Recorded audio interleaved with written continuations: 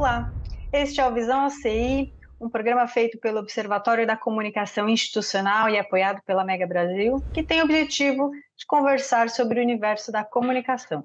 Eu sou Carolina Correia. E eu sou Marcondes Neto. Aqui trazemos destaques do portal OCI. Tudo bem, Carol? Tudo bem, professor. Vamos falar de digital hoje? Vamos. Vamos lá, então. Bom, para isso, selecionei dois artigos para embasar aqui nossa conversa. O primeiro, o artigo da Natália Meirelles, se chama Vício Digital, a Era da Hiperconectividade, e o segundo, do Eduardo Micheletto, se chama Inovação, o fascínio inegável dos vídeos online, como transformam a comunicação e o consumo de conteúdo. Bom, professor, RP como profissional que lida com informação, que é uma das nossas matérias-prima, na sua opinião, como que a gente pode lidar com essa hiperconectividade, independente da área de atuação do RP? Olha, esses dois textos que você escolheu são fantásticos. Ah, sempre agradeço a Carol a, a, curadoria do nosso Visão ACI, porque ela procura justamente encontrar textos que conversem entre si dentro de um tema. E a gente tem procurado fazer assim o programa é, e hoje é o tal do digital, né? O pessoal da propaganda não fala digital, fala digital. Eu trabalho no digital. Bom, o, o, tal, do, o tal do marketing digital, também uso um pouco aspas nesse termo marketing digital, é um desafio, ah, porque, na minha visão, já falei isso aqui uma vez, é uma disciplina em construção. Não é ciência é, estabelecida. Ah, se você for comparar com as outras especialidades da propaganda, é, não tem o cabedal, ah, a, a, eu, eu ousaria dizer até métrico, da, das ferramentas tradicionais, embora a, a nossa economia de dados, o Big Data, ela permita muito mais informação e dados sobre tudo que você faz e, e tudo que você uh, transmite, tudo aquilo que é recebido pelo teu público. Mas isso tudo está em, encaminhamento. Nós já tivemos aí oscilações nesse mercado. Né? As próprias redes sociais já é, sofreram tropeços. E, enfim, é um, é, um, é um mundo em transformação que, te, que convive com a mídia tradicional. Né? O que nós chamamos de mídia tradicional? A mídia, a mídia impressa, né? revistas, jornais que ainda existem, a, mídia eletrônica, que, que sempre foi né? É, rádio e televisão, né? e, a, e a mídia digital agora com todo esse, esse, esse cabedal. Né? Começamos com, com as com os sítios, né? com os sites, com os endereços, os domínios. É, mas hoje já há empresas que não utilizam sites, constroem toda a sua plataforma de informação para o público, por exemplo, no Instagram. Nós temos alguns consultores destacados na internet é, que dizem, né? Cuidado com as redes sociais, porque elas são casa alugada. Não é? Você corre riscos de, de, de, de, de cortes, de, de retiradas do ar, de, de, de bugs, é, que podem atingir até países inteiros. Enfim. Ah, agora, o desafio é o desafio é, da, da, técnico, de, de, de, mais linguagens, de, de, de mais exposição, de menos tempo de exposição, porque tudo agora é mais rápido. Né? A leitura é, perdendo para o, o audiovisual. Nós, por exemplo, produzimos um portal com artigos e colunas e análises e clipping. Né? É, o nosso conteúdo aqui é audiovisual. Então, digamos, quem, quem, quem assistir a essa nossa edição do, do Visão ACI vai ter contato com duas com dois conteúdos diferentes dentro do portal, que são leituras que levam é, cinco, sete minutos, dez minutos. Às vezes as pessoas é, não têm essa disponibilidade, não têm essa vontade. Né? É, ler na tela também, enquanto que o, o, audiovisual você tem a vantagem de poder ouvir apenas. Você pode colocar lá o, o canal da, da Mega Brasil, né, o streaming da Mega Brasil, é, e, e, e ouvir enquanto dirige, por exemplo, ou enquanto cozinha. Enfim, que é o que é, o, é, é a explosão do, do, do, do podcast, do videocast hoje. Então, a, a, nosso desafio é, é, a, é a adaptação. Adaptação aos, aos novos, às novas ferramentas e às linguagens que elas trazem e as limitações que elas nos impõem. Muito bem. Vou fazer a próxima pergunta na virada do próximo bloco, professor. Segura aqui okay. rapidinho.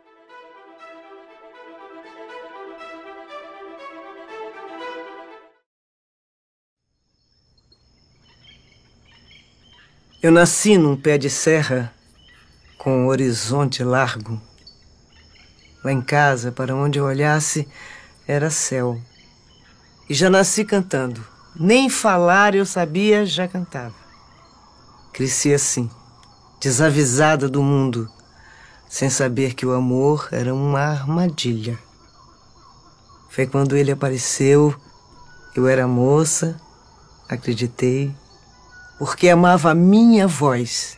Me arrancou de casa, me jogou na bolé de um caminhão e viajou dois dias e duas noites sem nem perguntar se aquele mundo todo me cabia. Depois me trancou numa casa toda enfeitada de amor. Mas havia grades deselegantes nas janelas. Quando chegava do trabalho, trazia algum presente na mão e dizia: Canta e eu cantava. Em vai descida. Mas ontem ele saiu e esqueceu a porta aberta. Eu nem sei onde vim parar.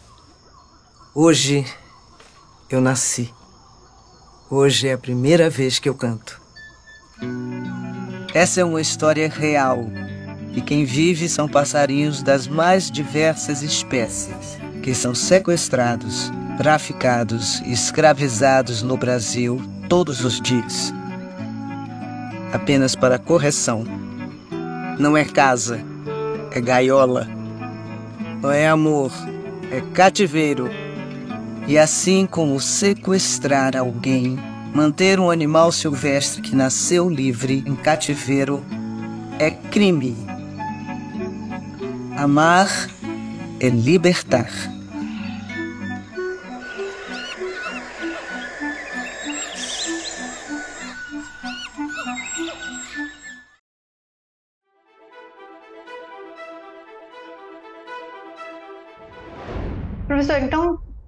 Seguindo dentro dessa temática do, do digital, tem mais uma pergunta que, lendo os artigos, é, eu, eu criei essa, essa dúvida. Quais são hoje os principais desafios que tanto marcas como os criadores de conteúdo enfrentam para manter relevância dentro da, das redes sociais, pensando que a gente está num cenário hoje carregado, muito carregado de informação nesse, nesse universo? É interessante frisar aqui que você trouxe o conteúdo do Minuto Micheleto. O Eduardo Micheleto é um jornalista e ele propôs a, ao, ao ACI a introdução desse, desse conteúdo com essa, essa marca, né? Minuto Micheleto. Então, em tese, nós vimos falando no bloco anterior, são conteúdos bem telegráficos para tratar justamente desse desafio, porque ele, é, quando eu o conheci, né, ele estava focado na questão da assessoria, né, que a gente tem um pouco de, de implicância em RP, ou pelo menos eu tenho, com o termo assessoria de imprensa, né, que é uma coisa brasileira, é uma jabuticaba.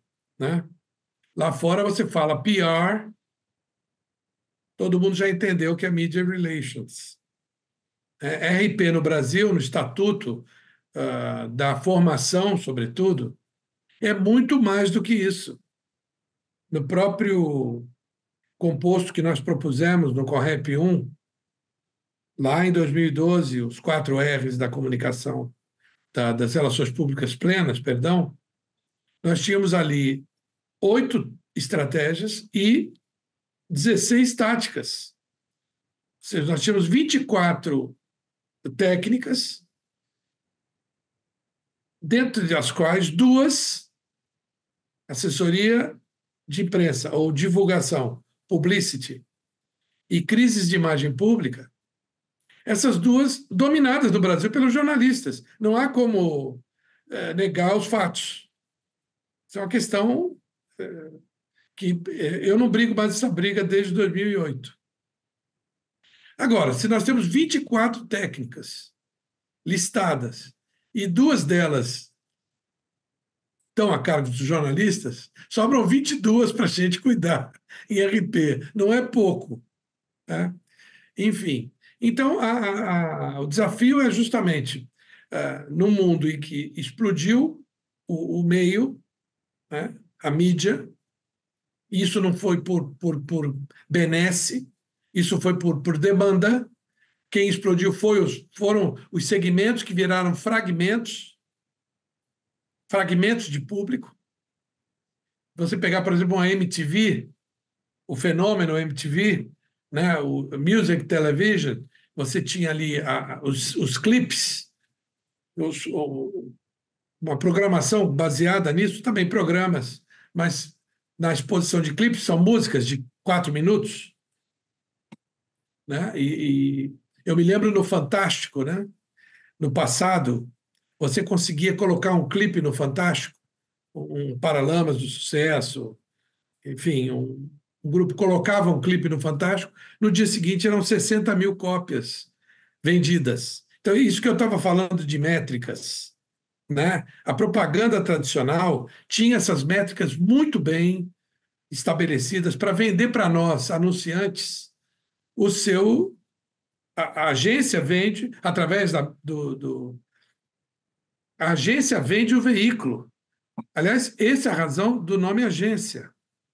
Ela agencia tempo e espaço. E não mudou, porque é, o que, que se agenciaria na, na, na, na internet? Tempo e espaço. Tempo num, num, num, num podcast, tempo num programa de web TV, tempo e espaço num blog, espaço num portal. Enfim, só que as agências estão um tanto quanto ainda sofrendo o caixote que a gente fala aqui no Rio de Janeiro, quando você vai pegar uma onda e a onda te pega antes, você toma um caixote e vai ter areia lá, uh, todo engasgado. Então, eu, eu acredito que o meio publicitário ainda sofre muito com a inversão total que a internet trouxe é, a, a, a, todo o, mercado da comunicação.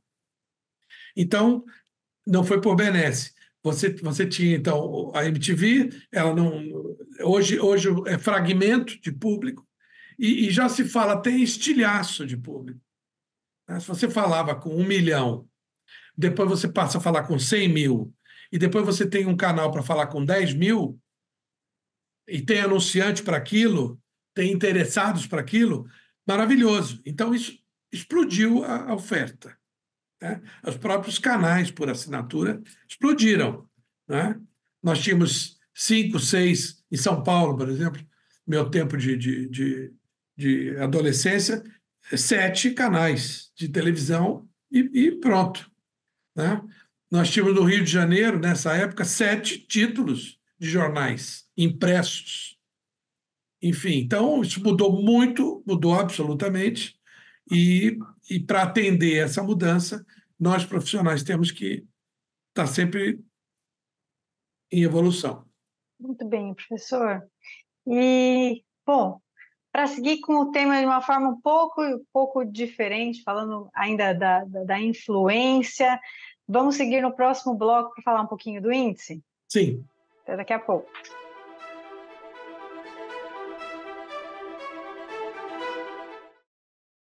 Sentiu sintomas, começou a febre. Muita dor, nas articulações. Eu tive manchas vermelhas e muita coceira. Durante as chuvas, os casos de dengue aumentam, assim como os de chikungunya e zika. Em caso de febre, dor de cabeça nas articulações, manchas vermelhas e coceira na pele, procure uma unidade de saúde. Receba os agentes de saúde de combate às endemias. Combate ao mosquito. Para fazer diferente, precisamos agir antes. Ministério da Saúde. Brasil. União e Reconstrução.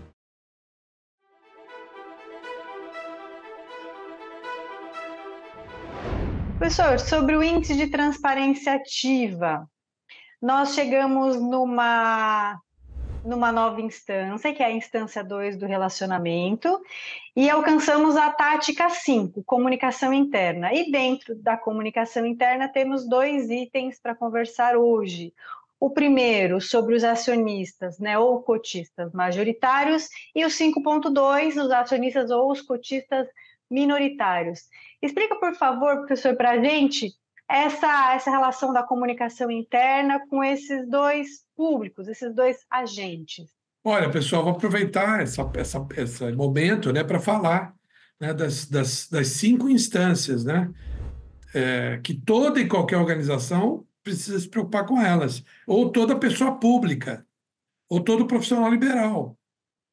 Nós tivemos, acabamos, então, no programa passado, o reconhecimento, entramos agora na instância do relacionamento, depois vem a relevância, a reputação e a resiliência.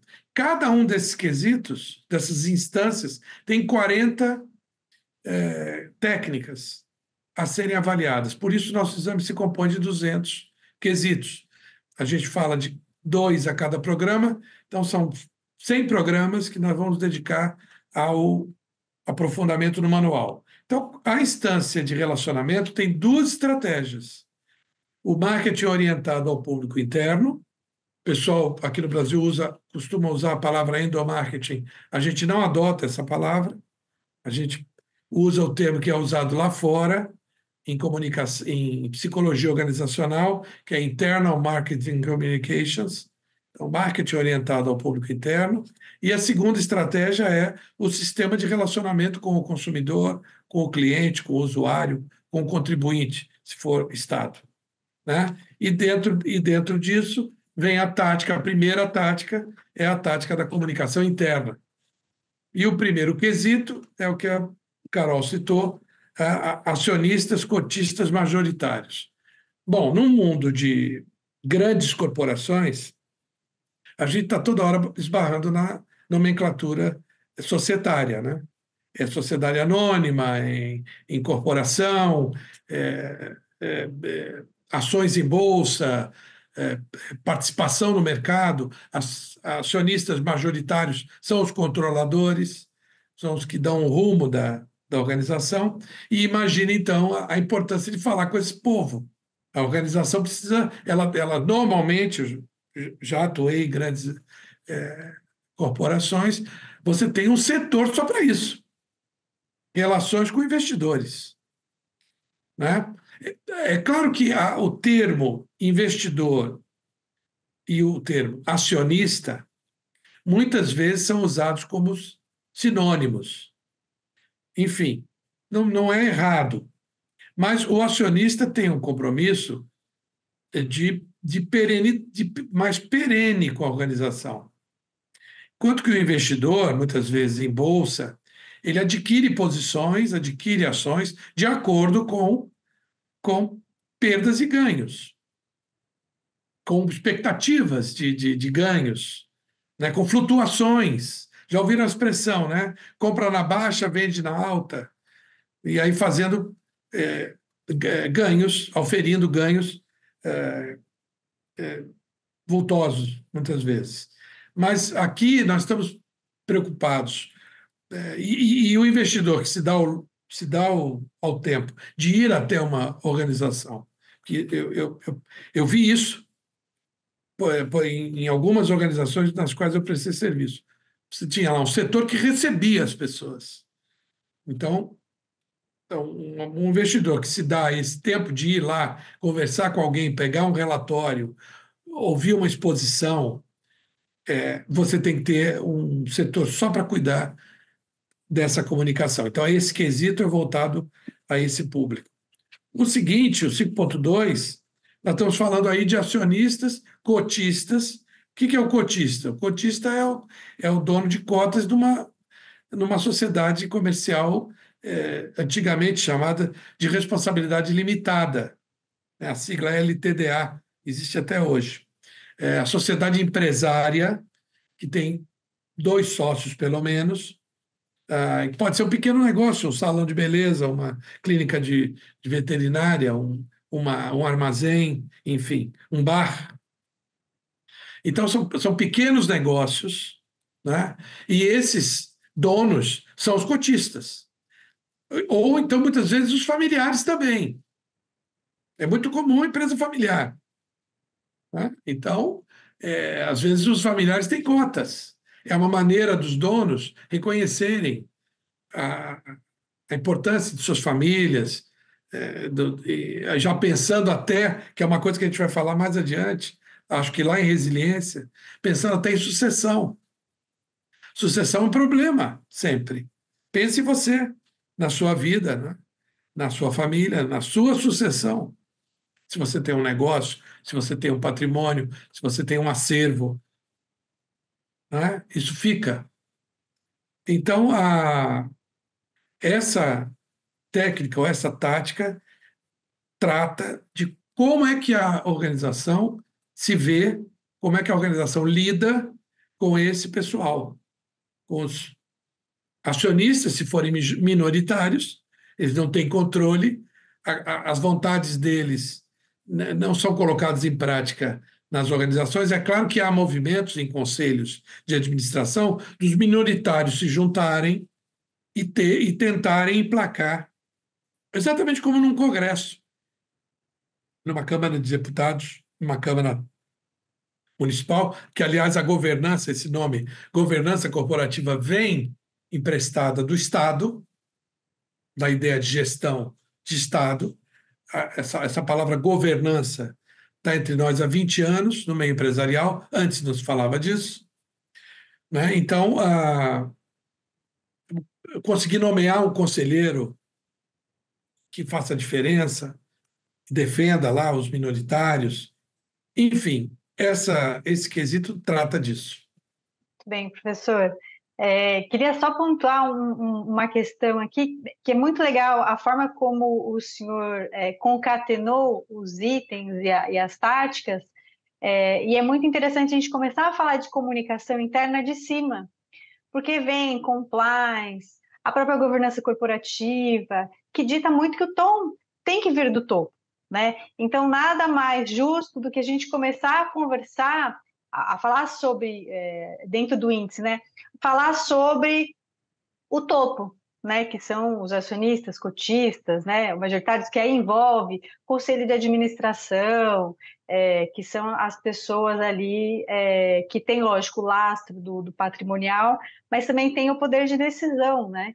E aí nada mais, mais correto do que começar a falar de cima, até porque o exemplo arrasta, né? Não, e tem que, tem que haver negociação, quer dizer, você não pode fazer uma gestão que todo mundo que é minoritário está insatisfeito, começa a gerar um, um calor.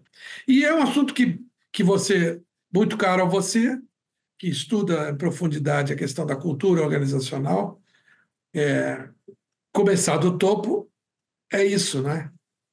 Espraiar esses conceitos, essas responsabilidades, essas, esses papéis que todos têm que ter na, no, no, tocar a, organização, seja de que porte for.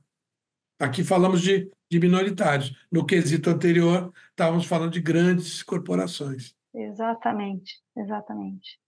Professor, mais uma vez, muito obrigada. A conversa sempre acrescenta muito. Espero que para quem nos assiste também tenha contribuído, ajudado, complementado, ou despertado uma dúvida, né?